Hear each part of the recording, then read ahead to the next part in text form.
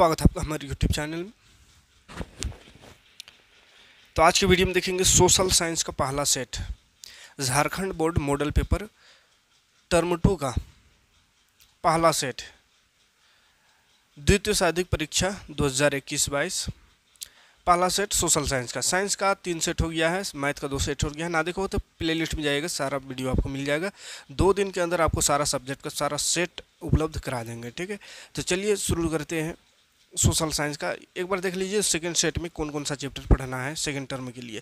First term वाला MCQ रहेगा, चालीस क्वेश्चन और सेकंड टर्म लिखित रहेगा, उसमें कौन कौन चैप्टर आएगा? तो इतिहास इतिहास में दो चैप्टर रहेगा, भूमंडलीकृत विश्व का बनना औद्योगिकरण का युग, भूगोल में रहेगा कृषि खनिज तथा ऊर्जा संसाधन, नागरिक शास्त्र में राजनीतिक दल लोकतंत्र की परिभाषा लोकतंत्र के परिणाम है लोकतंत्र की चुनौतियाँ। ये तीन चैप्टर रहेगा, नागरिक शास्त्र और अर्थशास्त्र में मुद्रा और शाख और वैश्वीकरण और भारतीय अर्थव्यवस्था, ये रहेगा, ठीक है?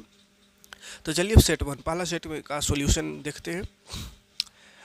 तो ये कुछ निर्देश है, निर्देश आप पढ़ लीजिएगा। ऐसे पिछला सेट सब में भी समझा दिए हैं, क्या निर्देश है, क्या मतलब किस तरह का रहेगा। तो चलिए देखते हैं, पहले हाँ देखिए, अति लघु प्रश्न किन्हीं पाँच प्रश्न का उत्तर दे, सात प्रश्न रहेंगे अति लघु में, उसमें से पाँच प्रश्न का उत्तर देना है। दो नंबरी क्वेश्चन यहाँ से रहेगा, ठीक है? तो पहला क्वेश्चन है, रीडर फेस्ट से आपका क्या तात्पर्य है? तो पशुओं के प्लेग की बीमारी को रीडर पेस्ट कहते हैं, जिससे नब्बे के दशक में हज़ारों में अफ्रीका के पशु मर गए, जिससे स्थानीय लोगों की आजीविका और अर्थव्यवस्था पर बड़ा प्रभाव पड़ा। ये रीडर फेस्ट दूसरा क्वेश्चन है, औद्योगिक क्रांति सर्वप्रथम कब और कहाँ प्रारंभ हुई? तो औद्योगिक क्रांति सर्वप्रथम 18वीं शताब्दी के उत्तरार्ध में इंग्लैंड में प्रारंभ हुआ था। घरों में उपयोग किए जाने वाले दो ऊर्जा संसाधनों का नाम लिखना है तो कोयला और प्राकृतिक गैस। अगला प्रश्न है चौथा नंबर भारतीय राष्ट्र कांग्रेस की स्थापना कब हुई थी और इसके संस्थापक कौन थे? तो भारतीय राष्ट्र कांग्रेस की स्थापना अट्ठारह ईस्वी में हुई थी और इसके संस्थापक ए ओ ह्यूम था थे, ए ओ ह्यूम। पांचवा नंबर क्वेश्चन लोकतंत्र की दो चुनौतियों को लिखिए। लोकतंत्र की दो चुनौतियाँ हैं, सांप्रदायिकता और अशिक्षित नागरिक। लोकतंत्र की सबसे बड़ी चुनौती है सांप्रदायिकता और अशिक्षित नागरिक। मुद्रा की परिभाषा करें, मुद्रा को परिभाषित करें। साधारण शब्द मुद्रा का अर्थ है धन, दौलत, जिसके इर्द गिर्द सारी आर्थिक गतिविधियाँ घूमती है। अगला क्वेश्चन है उदारीकरण। से आपका क्या तात्पर्य है? तो सरकार द्वारा अवरोधक अथवा प्रतिबंधों को हटाने की प्रक्रिया को उदारीकरण कहा जाता है। उसके बाद लघु उत्तरीय है, जिसमें पाँच प्रश्न इसमें बनाना है, सात में से पाँच। लेकिन अभी तो हम सातों क्वेश्चन को कराएँगे। एग्ज़ाम में आप पाँच करिएगा, तीन नंबर का ये क्वेश्चन रहेगा, एक एक क्वेश्चन तीन तीन नंबर का। पहला क्वेश्चन है, वैश्वीकरण से आप क्या समझते हैं? तो वैश्वीकरण वह प्रक्रिया है जिसमें हम अपने निर्णय को दुनिया के एक क्षेत्र में क्रियान्वित करते हैं, जो दुनिया के दूरवर्ती क्षेत्र में व्यक्तियों और समुदायों के लिए महत्वपूर्ण भूमिका का निर्वाह करते हैं और इसके द्वारा विदेशी और देशी मालों का आयात, निर्यात का काम कर सकते हैं, अपने माल को किसी भी देश में बेच सकते हैं और इस तरह अंतर्राष्ट्रीय स्तर पर विश्व के सभी लोग एक दूसरे पर निर्भर होते हैं, इसी को वैश्वीकरण कहते हैं। अगला क्वेश्चन है, नौवा नंबर ब्रिटेन की महिलाएँ कामगारों, महिला कामगारों ने स्पिनिंग जेनी मशीन पर हमले क्यों किए? तो स्पिनिंग जेनी मशीन ने ऊन की कटाई की प्रक्रिया बहुत तेज कर दी। स्पिनिंग जेनी मशीन एक समय में अनेक मजदूरों का कार्य लेती थी, इसके कारण मजदूर की मांग घट गई। पहला कारण था। दूसरा, बेरोजगारी की आशंका से मजदूर वर्ग, खासकर महिलाओं में नई प्रौद्योगिक की प्रति आशंका व्याप्त थे। जब उन उद्योग में इस मशीन का इस्तेमाल किया गया तो अकेले औरतों जो हाथ से ऊन की कटाई करती थी, को काम से हटाना पड़ा। इसी कारण महिला कामगारों ने स्पेनिंग जेनी मशीनों पर हमले किए। स्पेनिंग जेनी मशीन का महिलाओं द्वारा विरोध काफ़ी लंबे समय तक चलता रहा। अगला क्वेश्चन है, दस नंबर क्वेश्चन भारत में एक खाद्य फ़सल का नाम बताइए और उसे उगाने के लिए दो आवश्यक भौगोलिक दशाओं को लिखिए। तो गेहूँ एक खाद्य फ़सल है, खाने वाला फ़सल है।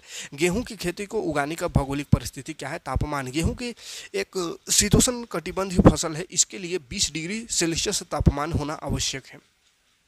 वर्षा कितना है तो 50 से 75 सेंटीमीटर वर्षा गेहूँ की खेती के लिए आवश्यक है। गेहूँ की खेती में सिंचाई की आवश्यकता पड़ती है। मिट्टी कैसा होनी चाहिए तो गेहूँ की खेती के लिए दोमट मिट्टी का होना आवश्यक है। मिट्टी में पर्याप्त नमी व ठंडा मौसम गेहूँ की फ़सल के लिए ज़रूरी ज़रूरी होता है। घा नंबर है गेहूँ की फ़सल के पकते समय बादल रहित आकाश आवश्यक है, यानी बादल नहीं होने चाहिए आकाश में। गेहूँ अधिकतर उत्तर प्रदेश, पंजाब, हरियाणा, राजस्थान और बिहार आदि क्षेत्रों में होती है। अगला क्वेश्चन है, ग्यारह नंबर, राजनीतिक दल का क्या अर्थ होता है? राजनीतिक दल ऐसे लोगों के समूह को कहते हैं जो एक जैसे विचार रखते हैं। देश की समस्याओं पर एक मत होते हैं और देश की सत्ता पर अपना अधिकार जमाना चाहते हैं। उनकी लोकतांत्रिक लोकतांत्रिक व्यवस्था को बनाने, चुनाव लड़ने, संविधान बनाने तथा सरकार के गठन और संचालन में महत्वपूर्ण भूमिका निभाते हैं। लोकतंत्र किस रूप में एक उदा उत्तरदायी शासन है? लोकतंत्र जनता का जनता द्वारा जनता के लिए शासन व्यवस्था आता यह जनता के प्रति उत्तरदायी है। लोकतांत्रिक व्यवस्था में जनता को सरकार के कार्यों, निर्णयों और नीतियों के बारे में जानने का अधिकार होता है। सरकार कोई ऐसा कदम नहीं उठा सकती जो उन जनता की इच्छाओं के विरुद्ध विरुद्ध हो। लोकतंत्र में जनता के कल्याण और विकास की जिम्मेवारी भी सरकार पर होती है। इसके लिए शासन में जनता की भागीदारी सुनिश्चित करना सरकार का दायित्व है। ये आंसर हो गया। अगला क्वेश्चन है, तेरह नंबर क्वेश्चन अतिरिक्त तेरह नंबर क्वेश्चन है। अतिरिक्त मुद्रा वाले लोगों और ज़रूरत जरूरतमंद लोगों के बीच बैंक किस तरह मध्यस्थ मध्यस्थता रखता करता है। साधारणतः दो प्रकार के लोग बैंकों में जाते हैं। एक वे जिनके पास अतिरिक्त धन होता है और दूसरे वे जिन्हें धन की ज़रूरत होती है या तो लोन ले ले या जमा करने ये जाते हैं। बैंक इन दोनों प्रकार के लोगों के बीच मध्यस्थता मध्यस्थता प्रदान करता है। जिनके पास अतिरिक्त धन होता है, उसे जमा करताओं उस जम, ऐसे जमा करता हूँ को बैंक सूद देती है और जिन्हें धन की ज़रूरत होती है, उनके बैंक सूद प्राप्त करते हैं। उनसे बैंक सूद प्राप्त होती है। उल्टा करते हैं, जिसके पास ज़्यादा पैसा है, उसको सूद देता है बैंक, और जिसके पास कम है, उसको सूद लेता है उससे, है ना? उल्टा हो जाता है थोड़ा सा।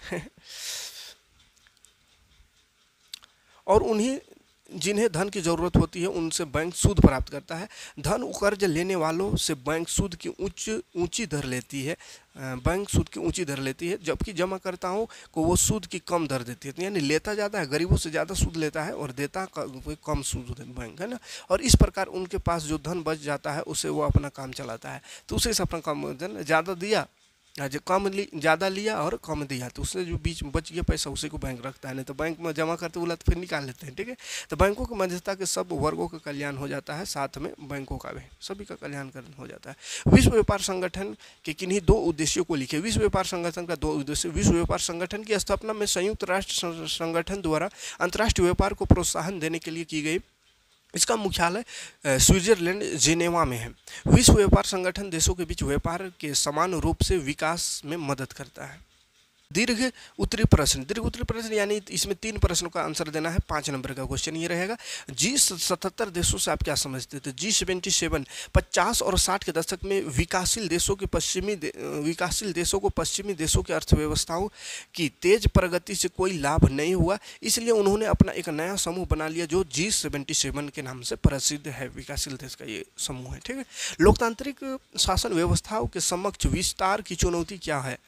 तो अधिकतर अधिकतर लोकतांत्रिक राज्यों के सामने अपने विस्तार की चुनौती है। इसमें लोकतांत्रिक शासन के बुनियादी सिद्धांतों को देश के सभी इलाकों, सभी सामाजिक समूहों और विभिन्न संस्थाओं में लागू करना शामिल है। संघीय ढांचे को मज़बूत बनाना, स्थानीय संस्थाओं को अधिक अधिकार देना और महिलाओं और पिछड़े वर्गों को उचित भागीदारी आदि ऐसी चुनौतियाँ है। अगला प्रश्न है सत्रह नंबर, एक अर्थव्यवस्था में मुद्रा की क्या भूमिका है? विवेचना करना है। एक अर्सन मुद्रा की भूमिका। तो उपभोग में मुद्रा की भूमिका, हम जानते हैं कि मुद्रा विनिमय माध्यम के रूप में अपनाई जाती है। इसलिए हम अपनी आवश्यकताओं की संतुष्टि के लिए मुद्रा के बदले वस्तुओं तथा सेवाओं का क्रय कर सकते हैं, यानी पैसा के बदले वस्तु और सेवा खरीदते हैं। व्यापार में मुद्रा की भूमिका, मुद्रा के द्वारा व्यापारी, व्यापारिक क्रियाएँ सरलतापूर्वक पूरी की जाती है, क्योंकि मुद्रा की सहायता से एक स्थान से वस्तुओं को क्रय करके दूसरे स्थान पर विक्रय किया जा सकता है। बजट निर्माण में मुद्रा की भूमिका, सरकारी व्यय व्यय तथा प्राप्तियों का माप मुद्रा में किया जाता है, जिसके द्वारा करों की दर ऋण पर ब्याज संबंधित आर्थिक नीतियाँ सरलतापूर्वक बनाई जाती है। बजट को मुद्रा भी बजट को मुद्रा भी मुद्रा में ही प्रदर्शित किया जाता है। बजट की मुद्रा जो है, बजट की मुद्रा को भी मुद्रा में ही प्रदर्शित किया जाता है। ये होगा। अगला कुछ है इसी का, राष्ट्र आय में मापन में, राष्ट्र आय राष्ट्र आय के मापन में मुद्रा की भूमिका। देश के राष्ट्र आय की गणना मुद्रा में की जाती है, जो कि देश की निवासियों का जीवन स्तर प्रदर्शित करती है। मुद्रा के बिना राष्ट्रीय आय की गणना कठिन एवं जीवन स्तर की प्रदर्श भी प्रदर्शित नहीं हो, नहीं किया जा सकता है। अगला है, उत्पादन में मुद्रा मुद्रा मुद्रा की भूमिका है ना? उत्पादन प्रक्रिया में एक उद्यमी उत्पादन के विभिन्न संसाधनों को उनकी सेवाओं में के बदले मुद्रा के भुगतान करता है, जैसे भूमि का लगान, मजदूरों की मजदूरी, पूंजी का ब्याज तथा उद्यम पर लाभ। मुद्रा की अनुपस्थिति में उत्पादन के साधनों को पारितोषिक प्रदान करना कठिन होता है। तो ये मुद्रा का भूमिका को लिख देना है, ठीक है? मुद्रा यानी पैसा है। पैसा का क्या भूमिका है? भारत में सौर ऊर्जा का भविष्य उज्जवल है। क्यों? तो भारत एक उष्ण कटिबंधीय या एक गर्म देश है, इसलिए यहाँ सौर ऊर्जा की उत्पादन क्षमता की, उत्पादन क्षमता की अधिक संभावना है। एक अनुमान के अनुसार यह लगभग बीस मेगावाट प्रति वर्ग किलोमीटर प्रति वर्ष है। भारत में फ़ोटो वोलोटाइल तकनीक उपलब्ध है, जिसके द्वारा सूर्य के प्रकाश को सीधे विद्युत में बदला जा सकता है। सूर्य का प्रकाश प्रकृति का एक मुक्त उपहार है, मुफ़्त उपहार है, इसलिए निम्न वर्ग के लोग लोग आसानी से सौर ऊर्जा का लाभ उठा सकते हैं। जबकि कोयला, पेट्रोलियम और प्राकृतिक गैस आदि ऊर्जा के स्रोत एक बार प्रयोग करने, दोबारा प्रयोग में नहीं लाया जा सकता। वहाँ, वहीं सौर ऊर्जा एक नवीकरणीय स्रोत है, इसे बार बार उपयोग किया जाता है। यानी सूर्य कभी खत्म नहीं होगा इसमें बार बार फ्री में यहाँ से ऊर्जा हम ले सकते हैं।